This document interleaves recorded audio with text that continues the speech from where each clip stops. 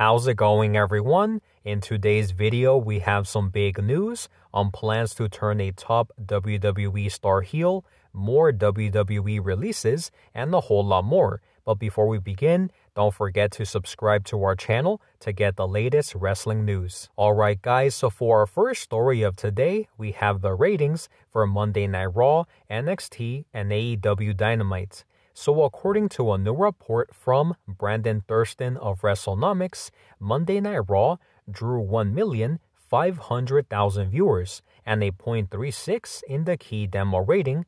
NXT drew 670,000 viewers with a .13 in the key demo rating, and AEW Dynamite drew 911,000 viewers and a .29 in the key demo rating. So it looks like Monday Night Raw, NXT, and AEW Dynamite all took a big hit in the ratings this week. Next up, we have some news on precautions WWE is taking ahead of Crown Jewel. So, in just a few days, WWE is set to hold another big pay per view event in Saudi Arabia. And although there is concern about an imminent attack from Iran on targets in the kingdom, PWInsider.com reports that WWE has been in regular contact with the State Department in advance of the Crown Jewel pay per view. In addition, the area that is believed to be endangered is nowhere near Riyadh, which is where Crown Jewel is scheduled to be held. Next, we have some news on WWE's plan to release even more superstars. So, despite WWE's recent batch of NXT releases, it looks like the company still plan on letting go even more superstars. Because according to Dave Meltzer of the Wrestling Observer, WWE is going to continue to release wrestlers at the six month mark if they are not progressing at a certain level. In addition, anyone who does not get to television within two years could also end up getting released. Next up, we have some big news on plans to turn a top WWE star heel. So, despite being off of WWE television for the past few months due to injury, it looks like WWE has big plans to turn a top star heel when they return, as WrestleVotes reports via Give Me Sport that WWE's original plan for Randy Orton's return from injury would have seen him immediately turn heel on Matt Riddle.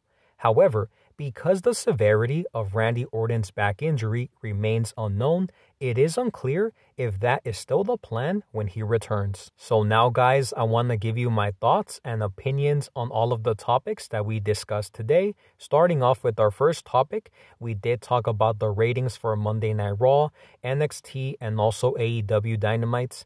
And Brandon Thurston did a report that Monday Night Raw drew 1,500,000 viewers.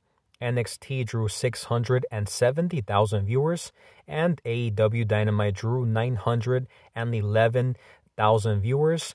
And uh, obviously, it looks like all of the shows did see a pretty big drop in the ratings department. But I'm pretty sure when uh, their competition ends, like uh, the World Series and things like that, that the ratings will go back up again. The next topic that we discussed today was precautions. WWE is taking ahead of Crown Jewel this weekend and PWInsider.com, they report that WWE has been in regular contact with the State Department and everything looks pretty uh, good to go for WWE to hold Crown Jewel in Saudi Arabia. And in my opinion, guys, I really hope that nothing ends up happening and that uh, the imminent attacks that was reported uh, by the, I believe it was the Wall Street Journal. Hopefully, nothing ends up happening uh, because that would be obviously very uh, sad. The next story that we discussed was WWE's plan on releasing even more stars, and Dave Meltzer did report in the Wrestling Observer Radio this week. He did say that WWE is going to continue to release even more stars at the six month or year mark. Uh, they are going to release stars who have not uh, progressed at a certain level. Uh, he also said that uh, stars who do not get uh, to television within two years could also end up getting released.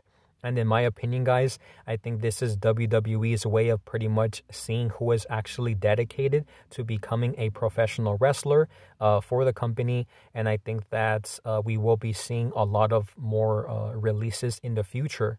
The next story that we talked about was plans to turn a top WWE star heel. And according to WrestleVotes via Give Me Sport, they did say that WWE's original plan for Randy Orton's return from injury would have seen him immediately turn on Matt Riddle. That was the plan as of May. However, because of Randy Orton's back injury, it remains unknown if that is still the plan. And in my opinion, guys, I do think that when Randy Orton makes his return to WWE television, I'm pretty sure that he will end up turning on Matt Riddle, and then that could start their feud to then eventually have a match at WrestleMania. So that will be pretty interesting to see if Randy Orton ends up uh, turning heel when he returns. So, with that being said, guys, that is all of the news that we have for today. Make sure to let me know your thoughts and opinions on all of the topics that we discussed today in the comment section down below. Thank you guys so much for watching, and I'll see you on the next one.